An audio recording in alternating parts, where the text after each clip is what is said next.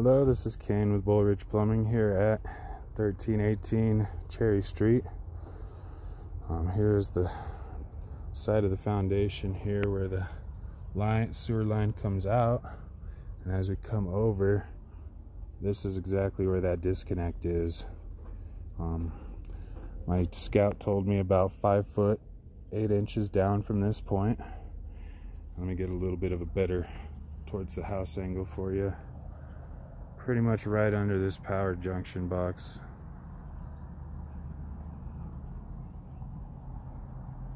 So then let me come over here and we're going to get a good angle going out.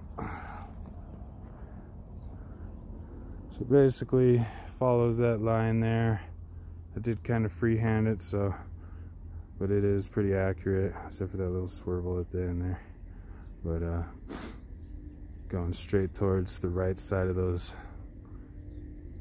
I don't bushel of trees. I'm gonna go ahead and follow that line outwards.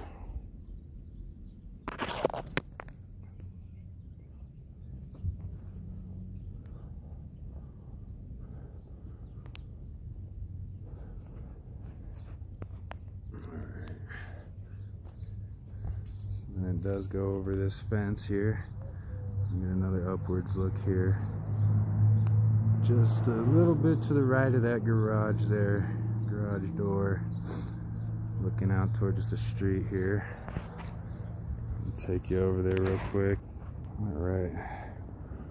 So coming on to the side here. We got five foot ten inches down. This is where our SDR meets with the clay line so I put SDR right here. I don't know if any of this will be here, so that's why I record them though. I'm looking up from here. It's kind of just right down the side of the street here. It's definitely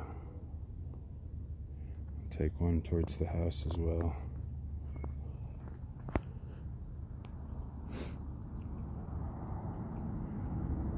Pretty much straight towards that junction box. Cool.